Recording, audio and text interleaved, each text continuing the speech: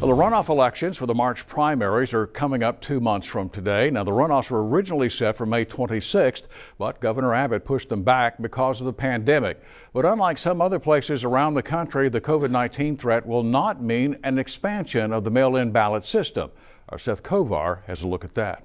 Well, lots of people would like to vote from here, right at home, using mail in ballots. But right now, the only people who can do that are 65 years old and older or disabled and it doesn't look like that's going to change before the primary runoff elections that happen two months from today. That, of course, it weighs on you. Nueces County Clerk Kara Sands is talking about the responsibility of holding elections during a global pandemic. She says she's doing all she can to make sure polling places are safe, and that starts with eliminating some of them. Several of our locations are senior centers. Even early voting, we're not doing that at all.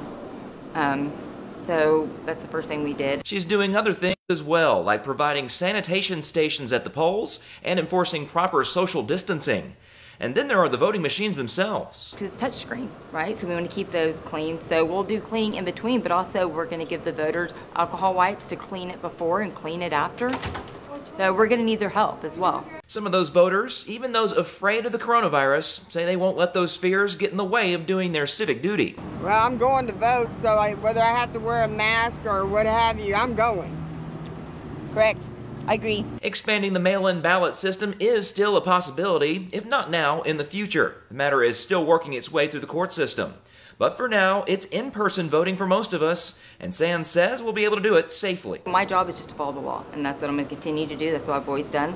We'll see what, what happens, what the uh, court says. Primary runoffs are usually some of the least attended, so crowd control in July shouldn't be a problem. The big question is what happens in November when we head to the polls to elect a president? We'll have to wait and see what election leaders and COVID 19 have to say about it. Reporting from the Home Office, Seth Kovar, KRIS 6 News.